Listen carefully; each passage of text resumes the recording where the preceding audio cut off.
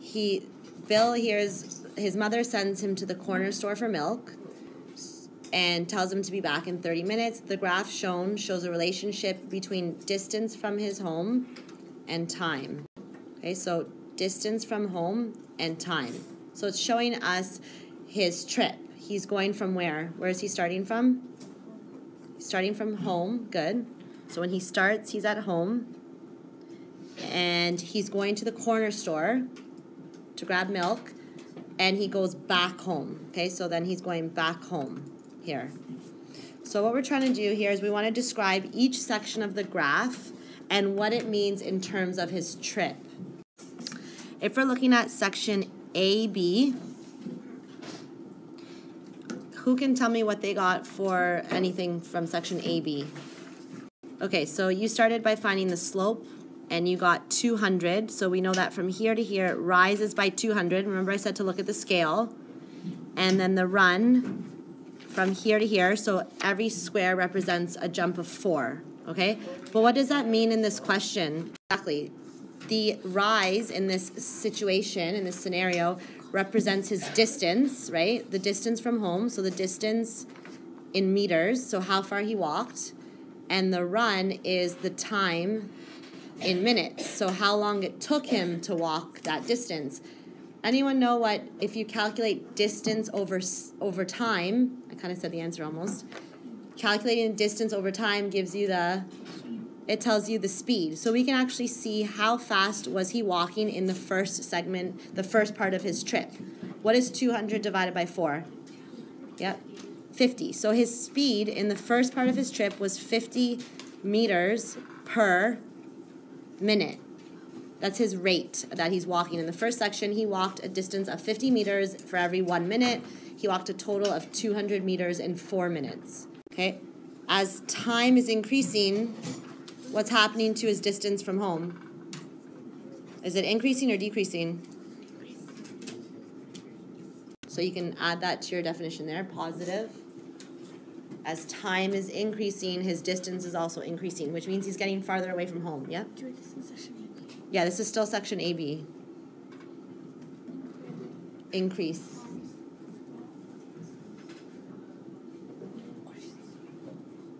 That means positive. Positive. Yeah, negative, yeah. Negative.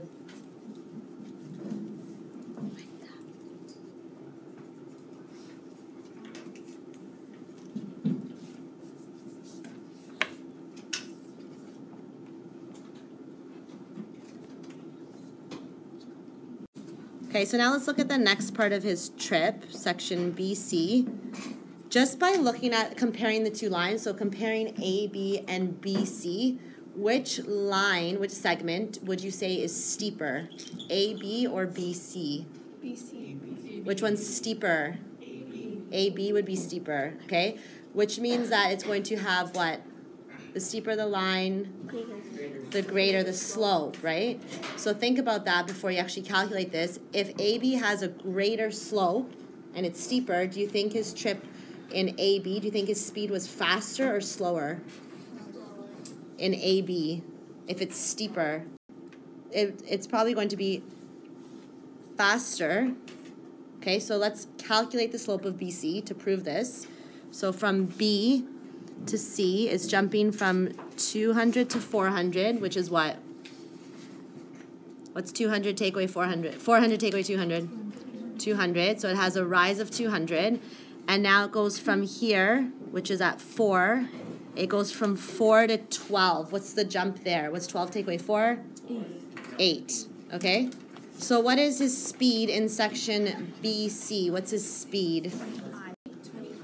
200 divided by 8 is 25. So his speed in section BC is 25 meters per minute. Section AB was 50 meters per minute. Which one's faster, AB or BC? AB. AB is faster. And as you predicted, because the slope is steeper, because the line looks steeper, you knew that it was going to be a higher slope, which means he's traveling faster. So now he's slowed down a bit from after. Um, so the first four minutes, he was walking a bit faster, and then the next eight, uh, the next four minutes, okay, because another four minutes had passed. He's walking a bit slower. So looking at CD, the slope is looks like it's going to be steeper than it's steeper than BC. So you're predicting that it's going to, he's going to be traveling faster again. So let's calculate it. From CD, what's the rise? So it's going from 400 to 600. That's a jump of a rise of 200. And the run goes from what? Between, it's going from 12 to 16. Yeah, so it's a jump of 4. Good, because each square represents 4. Yeah, you're right. Okay, so what's 200 divided by 4? 50. So he actually has the same speed again as when? Section AB. as AB. So AB and CD, and if you look at those two lines, AB and CD, so here and here, do they look like they're the exact same slope? Yeah, and they should be. We just found that the slopes are the same. The speed was the same, AB and CD. So now he's gone back to his original speed. Okay? Okay, so now we're going to look at from D to E. What kind of line is this from D to E? D to E is what type of line segment? It's a horizontal line, right? What do you know about horizontal lines? What is the slope of a horizontal line? Slope of a horizontal line is always zero, right?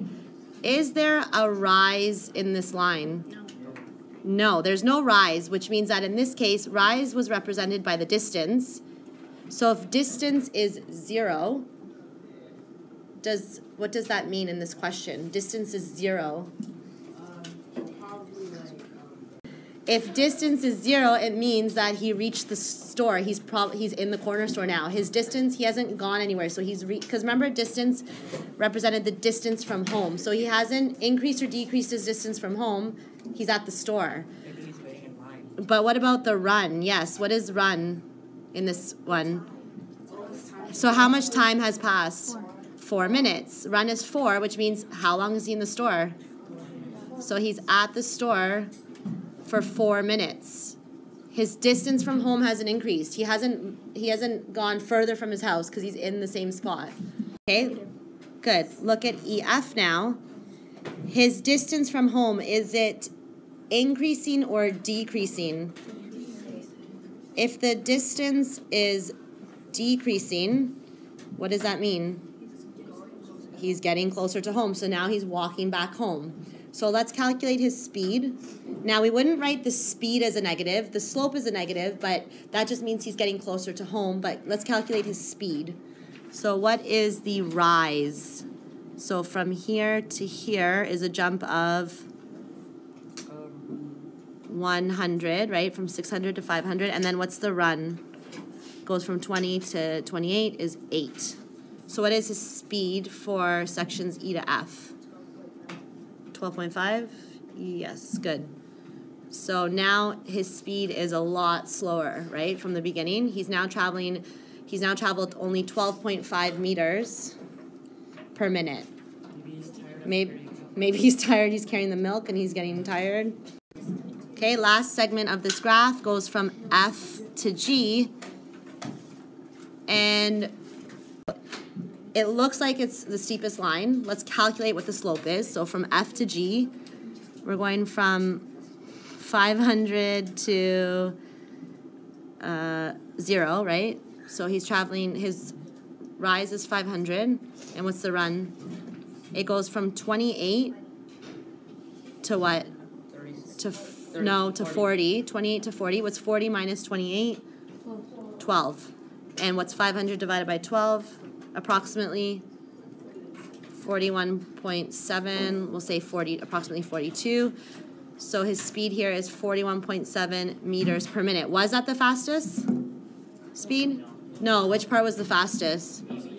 A, B, and CD. So this one was a bit slower, but his speed was the steadiest. Like he from for 12 minutes he was traveling at the same speed, right? Okay. How long did his total trip take? So let's look at the x-axis now. How much time passed? So when he started, he left home, and when he returned to home here, what point is this at? How many minutes? 40 minutes. What was his curfew? What did his mom say? Thirty. Thirty minutes. You must be back in 30 minutes. Uh-oh. So he was, it took him 40 minutes to walk to the store. So therefore, he was 10 minutes to walk. Sorry, it took 40 minutes to get to the store and come back. So therefore, he was 10 minutes late.